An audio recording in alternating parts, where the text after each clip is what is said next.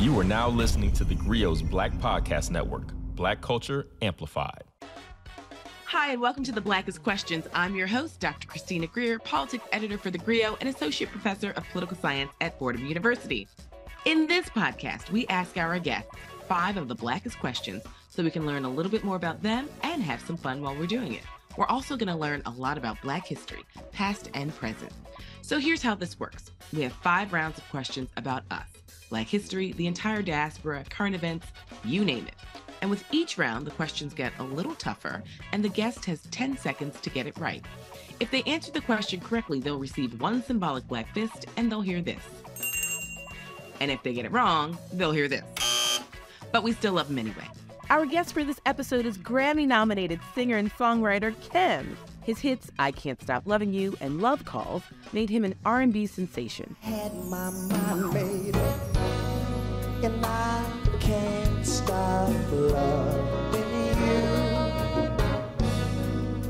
I can't help myself. He's toured the world for nearly 20 years, and his work has been recognized by the Billboard Music Awards, the NAACP, BET, the Soul Train Awards, and of course, the Recording Academy. Kem is also an author, releasing his memoir this year titled Share My Life A Journey of Love, Faith, and Redemption. Kem, I am super excited to have you here. Are you ready to play the blackest question? I will find out. We're going to find out. Listen, you got a lot of fans out there who are rooting for you, so I know this is going to be a great episode. Okay, question number one. Let's just jump right into it. In 1959, this black owned record label was created by a former automobile worker who introduced white America to dozens of talented black acts during the height of the civil rights movement. What is the name of this record label? Uh, I think that would be Motown. That is correct. Motown Records. Berry Gordy made history when he opened Motown Records in Detroit, Michigan, Yes. and was urged to do so by his friend Smokey Robinson. The label gave us chart topping acts like The Temptations, Diana Ross and the Supremes, The Jackson Five, Stevie Wonder, Marvin Gaye, the list goes on and on. And Motown sound became synonymous with great melodies and the use of tambourines, hand clapping, and strong bass lines. So, you signed to Motown in 2001. How did that happen and how did that change your entire career? Um, there was no career prior to signing to Motown. right? I was, uh, you know, I did it the old-fashioned way. We we we we mm-hmm. earned it, right? I was selling CDs out of my my first album, Kemistry. I was selling on my own, literally out of the trunk of my car, right? And our goal was What was your car? Hold on, we need a visual. My Kem. car was at the What time. what was was it? I driving? I was driving a 1994 Toyota Camry. That's right. right. That's a solid Look, car. I put 300,000 miles on that car and then gave it to somebody Uh-huh. else. right. right. I was selling my I, wa- I was selling my album in true entrepreneurial Detroit hustle style. We sold Mhm. 10,000 copies on our well sep- at the end I sold 17,000 copies on my own.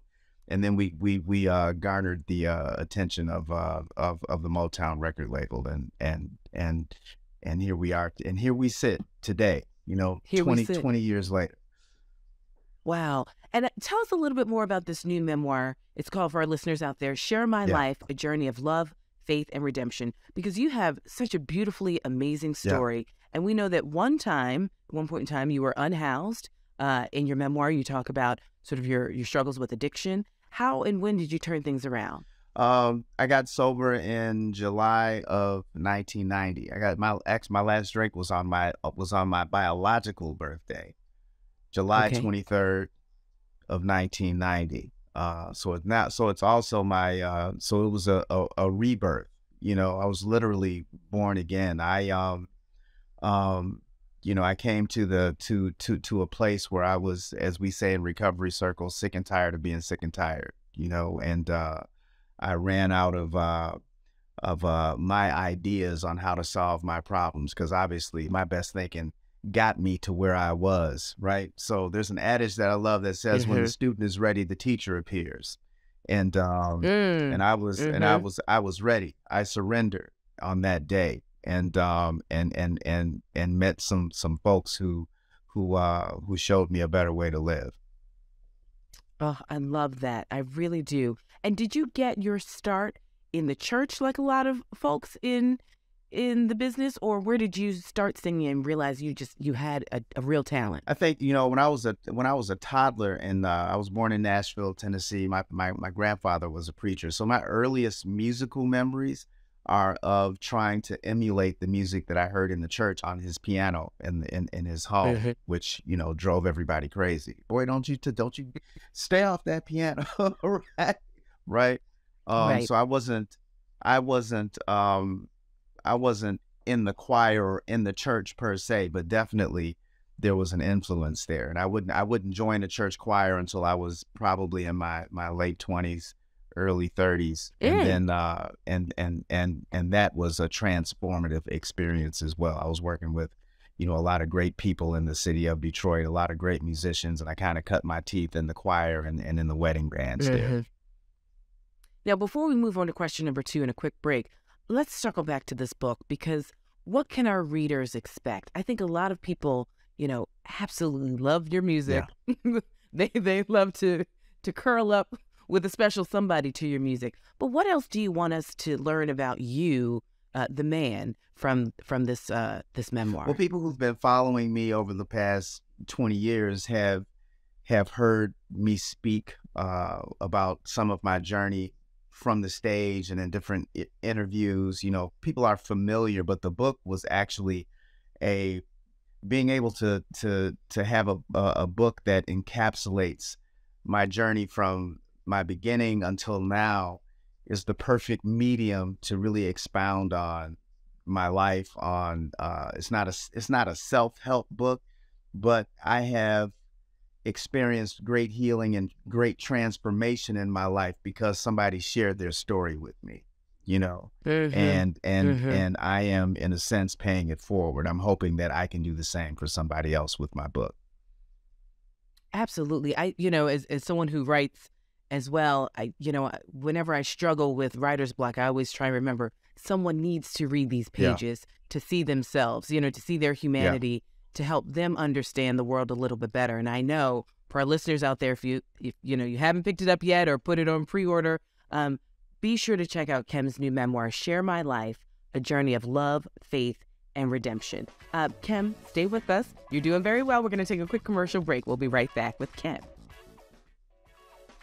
And we're back. I'm with R&B singer Kem. Kem, thank you so much for joining us on the Blackest Questions. it's my pleasure You are doing incredibly well. Let's see if we can keep this streak going. Question number two. Are you ready? yeah i'm ready Okay. This black neoclassical pianist is also from Detroit and is known for mixing classical music and hip hop. Oftentimes, his covers of hip hop songs go viral on social media. Who is he? And here's a hint he's actually been a guest here and played the blackest questions. it's not it's not if i if it is i didn't know he was from detroit the only person that comes to mind immediately is robert glasper No, it's not Robert Glasper, it's BLKBOK.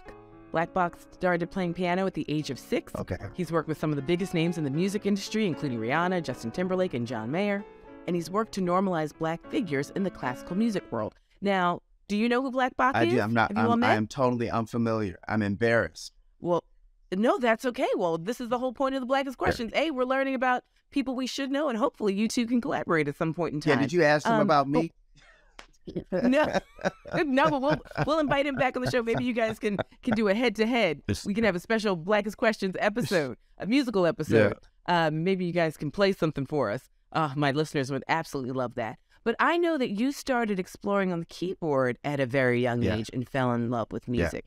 What was it like growing up in such a musical city like Detroit? Is it, you know, like the movies portray where everybody's musical? Because listen, Kem, I used to lip sing in church. That's how bad my voice Yeah. is. Okay. Like when I would sing, people would look around thinking that birds were falling from the sky and not in a good way. So is it one of those pressure cookers in the sense that like everybody's got talent and everyone's playing an instrument and has a beautiful voice? Like where did you fit in in the larger pantheon of Detroit? you know detroit is a very musical city um and I, Mhm. and i cut my teeth in the top 40 bands uh, wedding bands uh Okay. singing at bar mitzvahs and the casinos detroit is a working musicians town you know um Mm. so Walk us through what that means. that means that these that, that these musicians are are not musicians that you may necessarily see on the cover of Billboard or or Rolling Stone, but they they they work harder than those of us who are in the mainstream music industry, right? Because they're playing. Because before I signed Motown, my set was, you know, now my set is probably seventy five minutes, maybe an hour and a half at the most. Mhm. But then back then, the working musician is playing four 45 minute sets with 20 minute breaks in between.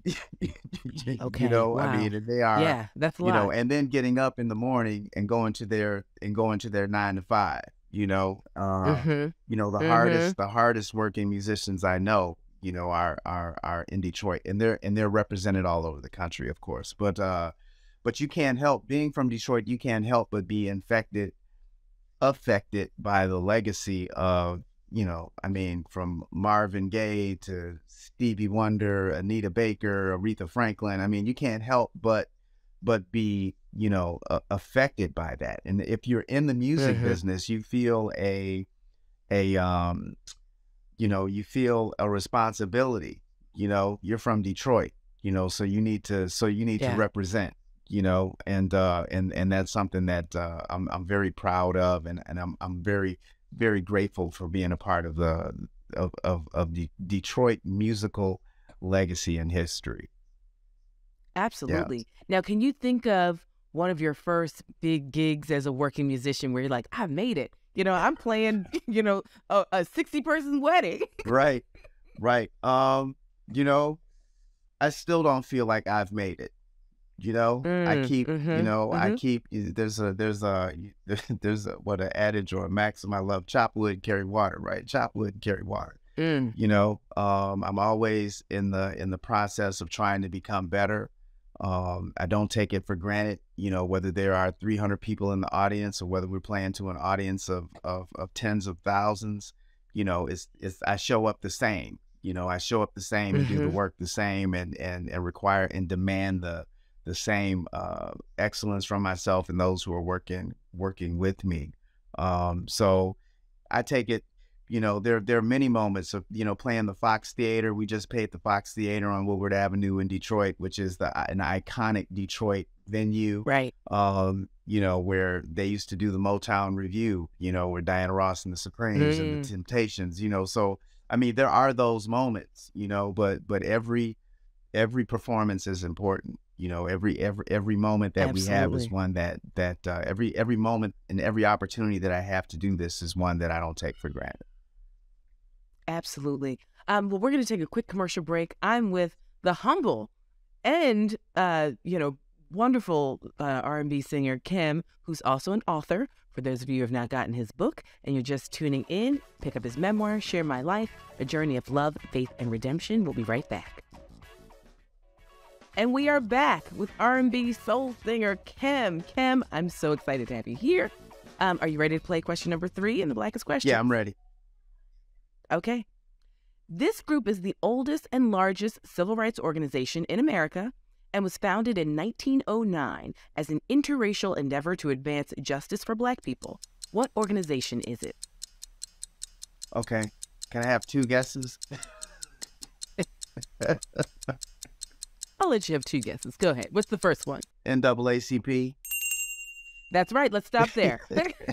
the National Association for the Advancement of Colored People, also known as the NAACP. Some of its co founders included Ida B. Wells Barnett and W.E.B. Du Bois. Its members grew rapidly from about 9,000 in 1917 to nearly 100,000 just two years later.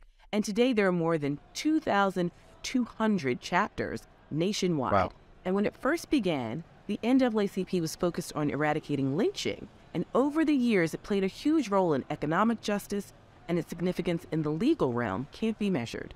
The NAACP Legal Defense and Educational Fund, then headed by Thurgood Marshall, won the case Brown versus Board of Education, which outlawed segregation in public schools.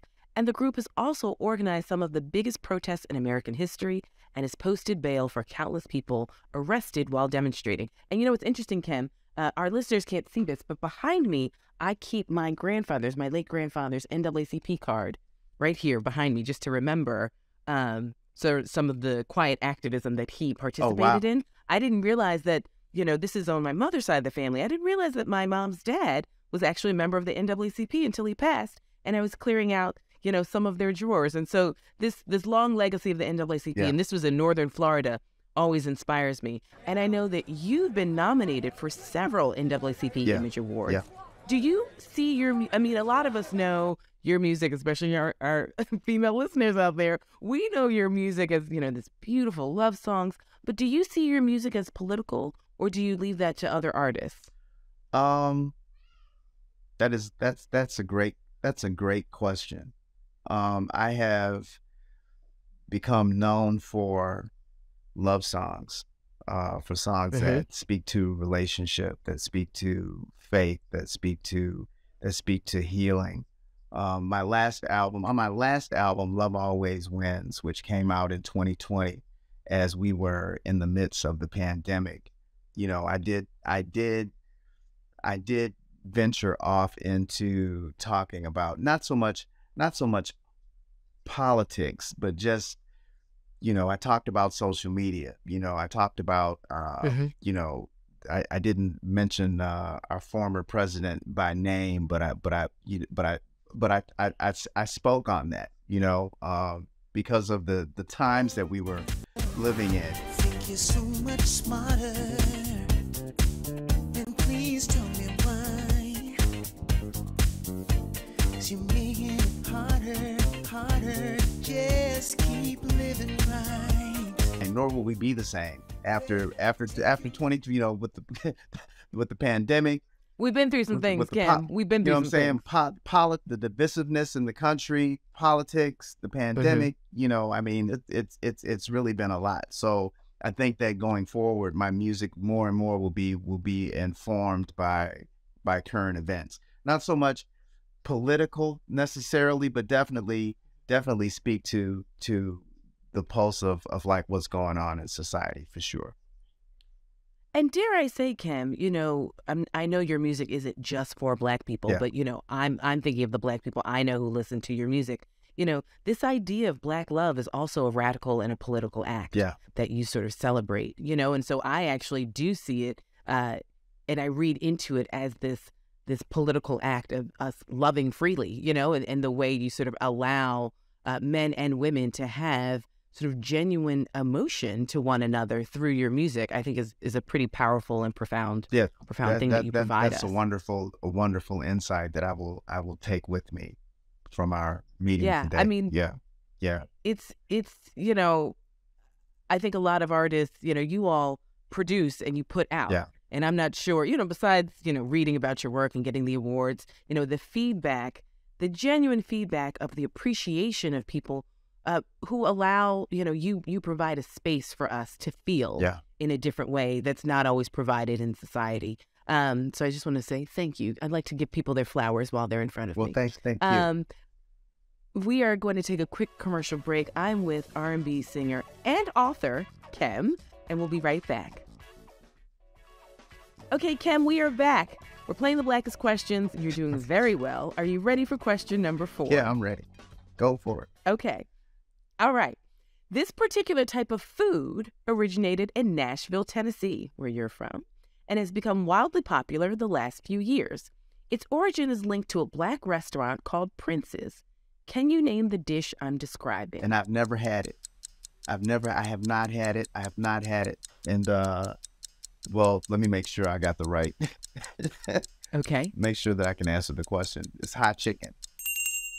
That's right. You are Yeah. correct. Thornton Prince is credited with selling the first batch of hot chicken in Nashville in the 1930s that quickly became his restaurant's most popular dish. He actually created the recipe by accident when someone tried to sabotage his food by putting too much pepper in it as an act of revenge, apparently because Thornton was fighting with someone else over a woman. But Thornton took notice with that, and with some tweaking, the flavor was actually pretty good, and hence we have hot chicken. And so, as you mentioned before, you're born in Nashville. You you primarily were raised in Detroit. I always say Detroit, but I'm just I'm gonna say Detroit for today. I know you've traveled the world. You've traveled the country. Of all the places you visited, what city has the best food? Because we've had lots of chefs on the show, What city and I has love the food, best Kem. food? I will eat you out of house and home. Yeah, me too. Look, I gotta look. When, I got. Yeah, I.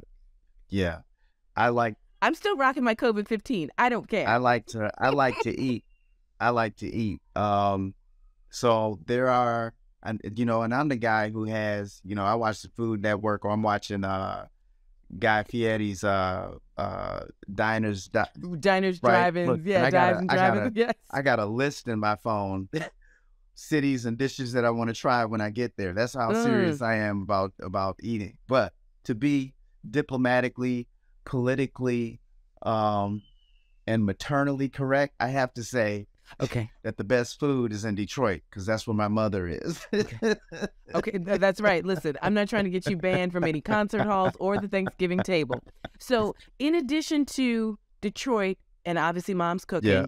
you know, when you travel either domestically or internationally, what city were you like, okay, this is this is dangerous because I might not be able to fit in this outfit if I stay in this city too long. I went to uh I think the the most I've had right and it's hard because I've had memorable meals like all over the country. I think the most inter- internationally the best the meal that I was taken aback by the most was in was in Italy, was in was in Rome, right? Because we would we drove up into the we drove up into these mountains and uh-huh. and you know, and you walk into the restaurant and the, the you know they have fish on ice as you're walking into the restaurant so that you can pick the fish out that you're gonna have that's you know right. that night. that's right. And I had the best pasta, the best spaghetti that I've ever had in my life, right? And the, and the vibe is nobody's rushing.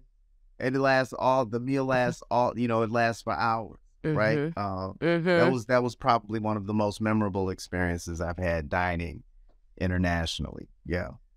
and you can really savor it, you Yeah. know, um, and you can savor the experience.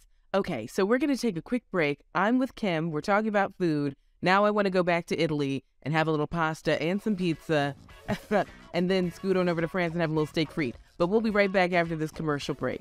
Okay, we are back. I'm with R&B soul singer Kem, who's also an author of a new memoir that you got to be sure to check out.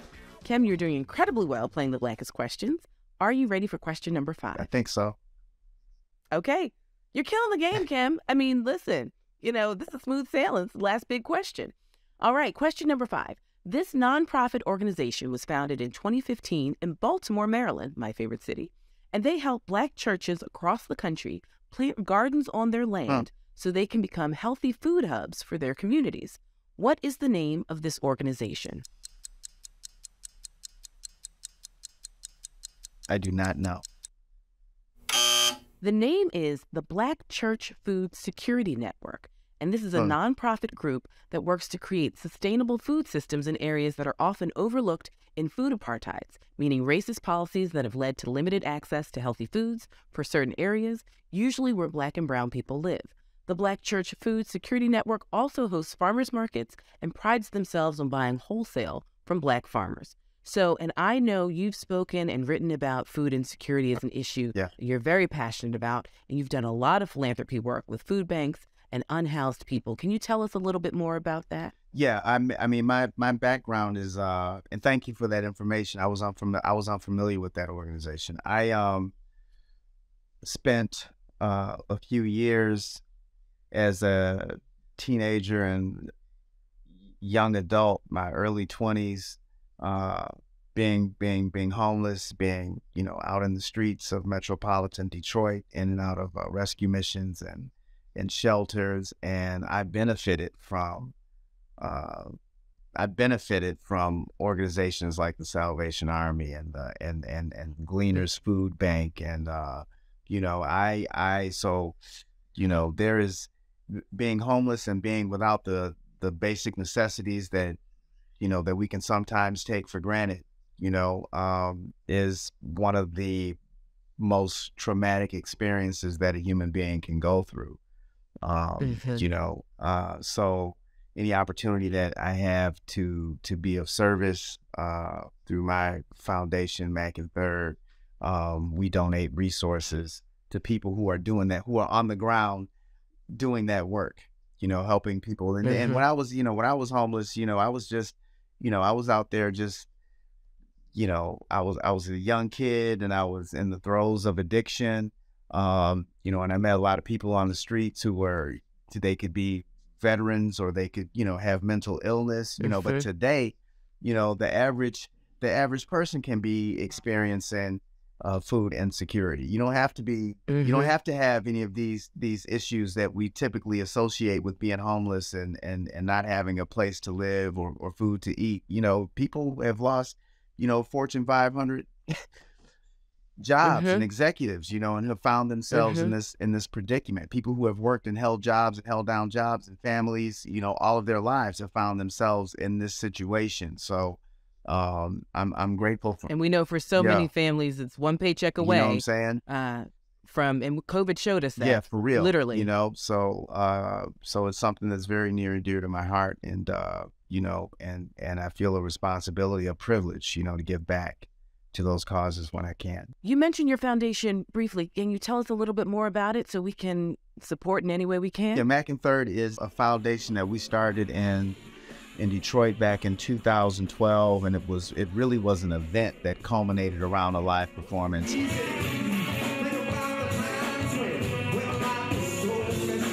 it was a, a free concert and people brought canned goods and donated money. We elevated to the point to where we were getting sponsors. It wasn't a bona fide foundation until you know dte and and kroger and some other people started home depot and lowes you know they started so we we became bona fide It's not a movie.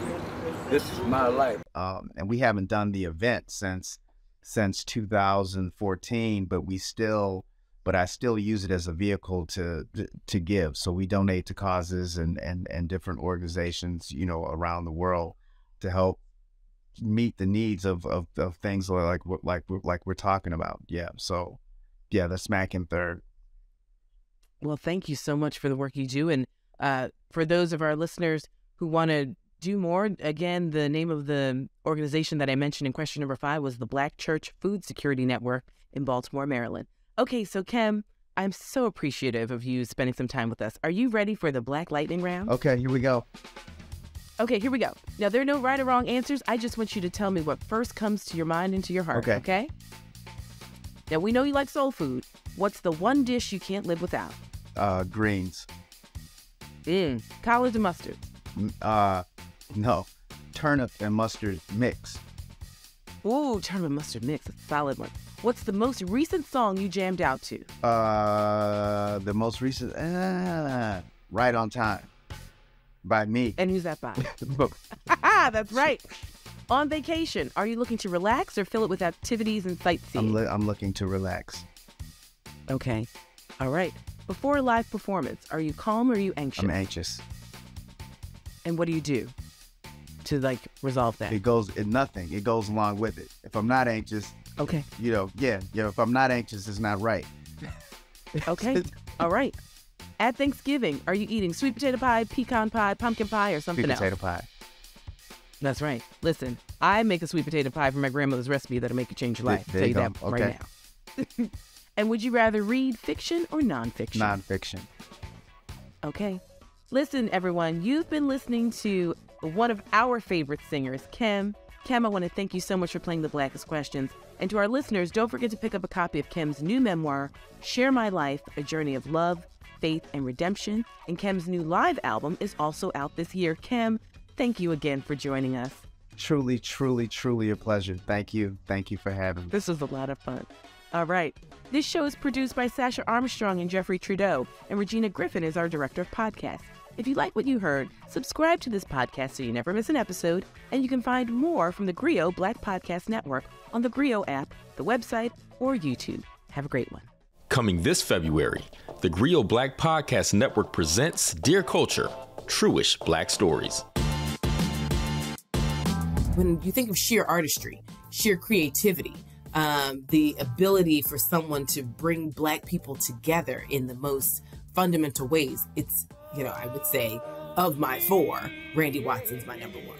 When the news about Ricky first broke, what I heard about it is the thing you hear about, you know, every time somebody black dies, that it was gang related. That means the police don't know what happened, so they just said probably the gangs, probably, you know, the other black dudes. when I think of Akeelah, you know, um, I think about, I just think about how impressionable white people can be. I think about how, you know, if you watch that movie again, you know, if you should have lost like three times. Where were you when you heard the story about them suckers getting served by Wade's dance crew. You know, it's crazy that you mentioned this. So, as a New Yorker, right, everyone knows where they were on 9 11, right? You know, a couple years later, right, 2003, everyone hears about this crazy moment in a boxing ring, because that's where dancers duke it out, right? In boxing rings. If you could say something to Ricky right now, what would you say to him? Ricky, you shouldn't have never got that girl pregnant. You knew I had a crush on you. You should have got with me instead. Moments in Black Culture examined like never before. Join us each week as we dive into the black moments that changed us, that changed the world. Make sure to subscribe to Dear Culture so you never miss an episode.